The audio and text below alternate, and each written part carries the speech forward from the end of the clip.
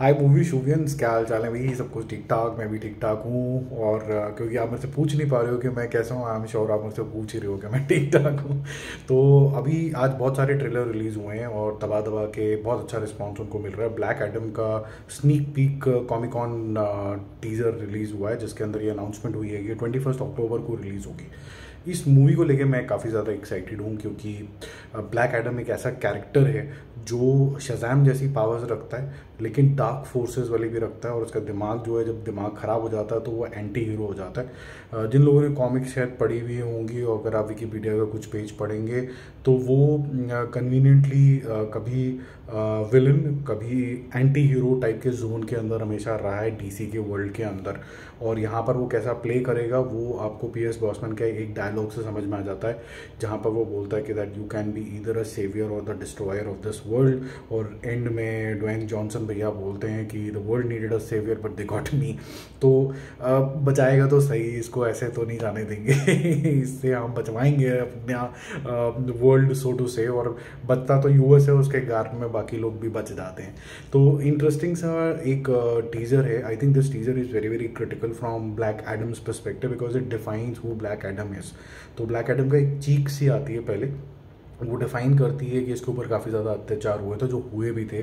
और इसकी फैमिली के ऊपर भी कुछ ना कुछ होता है, जिसकी वजह से फिर इसको प्रिजन में भी डाला जाता है। पाँच हज़ार साल बाद जब ये आता है तो उसके बाद सुपर डुपर खूपर टाइप की पावर हो जाती हैं। और बहुत सारी बारी आप ये भी देखोगे इसके अंदर कि आने वाले समय के अंदर कि इसकी जो फाइट्स हैं, वो सुपरमैन से भी हुई हैं, इसकी फाइट्स जो है सजान से भी हुई हैं।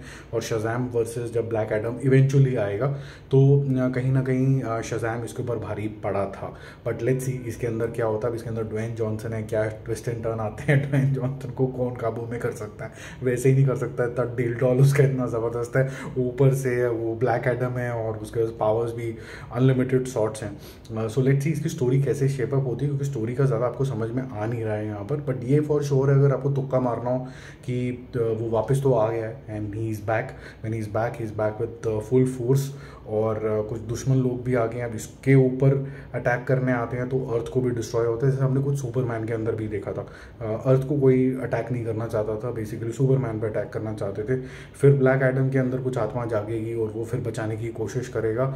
और एंड में दिखाएगा ऐसे कि मैं तो रूथलेस आदमी हूँ, मेरे को कोई फ़र्क नहीं पड़ता, तुम जियो या मरो। But he will have some soft corner so to say लेकिन ब्रूटल तरीके से चटनियाँ बनाए गए विलन की। और यही चीज़ इसको इंटरेस्टिंग बनाएगी, क्योंकि कहीं ना कहीं ब्लैक एडम को देखने का मज़ा तभी आएगा जब ये ब्रूटल हो जाएगा। तो अगर Shazam into brutalness is equal to Black Adam दिखाते हैं तो ये मूवी सुपर डुपर खूपर हिट हो जाएगी। और जो डीसी के पास अभी बैटमैन के अलावा कोई बहुत बड़ी हिट नहीं आई है, वो ये बन सकती है। बाकी रीबूट होने वाला है सुपरमैन का भी, उसके बारे में और खबर निकालते हैं, फिर उसके ऊपर डिस्कशन करते हैं। बाकी बने रहिए चैनल के ऊपर, नए आए हो तो सब्सक्राइब करें, बिना बिल्कुल भी मत जाना। Bye bye.